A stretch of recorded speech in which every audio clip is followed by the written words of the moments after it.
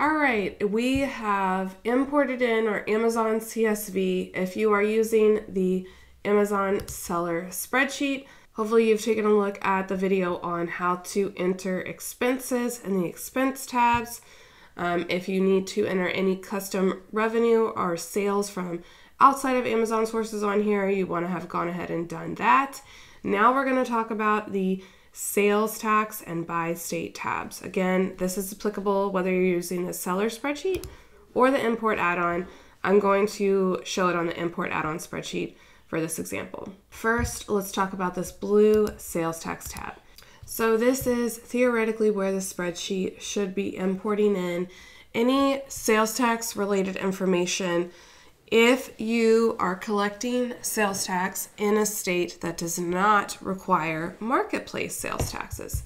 So this is becoming less and less common, honestly, because at, because as of um, you know November 2019, at least 25 states in the U.S. are requiring marketplaces like Amazon to collect that marketplace facilitator sales tax that I briefly mentioned previously. So what that means is that the majority of the sales tax that's getting collected and reported on your CSV is marketplace facilitator sales tax that Amazon never remits over to you. They withhold it and pay it over to those individual states on your behalf. Now, you may still have a nexus in a state or states that don't require marketplace facilitator tax, and thus you hopefully have set up Amazon, your Amazon shop, to charge those state customers accordingly. So, if that applies to you, and this is something that you've done, then you are going to receive those sales taxes, and they should be reported right here,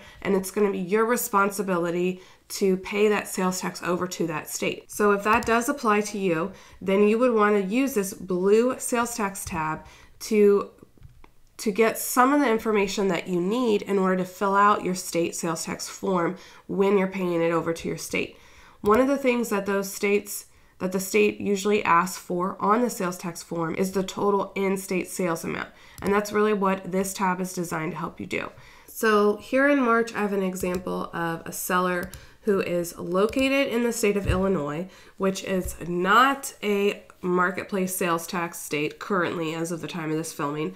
So she is required to collect sales tax from her in Illinois state customers because she has a physical nexus there. And uh, she set her Amazon shop up to do that on her behalf. So here is an in state sale for her where she's collected 369 in sales tax. Amazon's going to actually pay that over to her and she's responsible for remitting it over to the state of Illinois when it's due.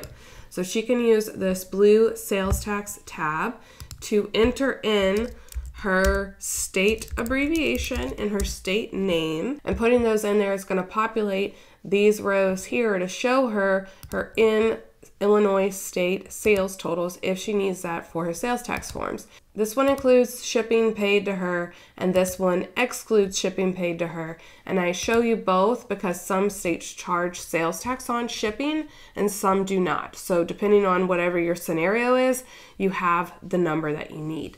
It's also telling her that she collected $3.69 in sales tax. So, this tab is just giving you a little additional information to figure out sales in a specific state if you need that in order to do a sales tax form. Now, the Orange by State tab is going to give you some information regarding a different type of sales tax, which is economic nexus. And again, if you need to read up on this, I have a really good article or two in the PDF instructions about economic nexus. But this is the other new kind of sales tax that basically says if you have so many number of sales, like sales volume, number of transactions to a specific state, or if you sell over a certain dollar threshold to customers in a specific state, you may have economic nexus in that state, which then means you have to deal with sales taxes in that state. Um, this doesn't apply to many of us. It's mostly for higher volume sellers, but I do have this tab in here if economic nexus is something that you are concerned about.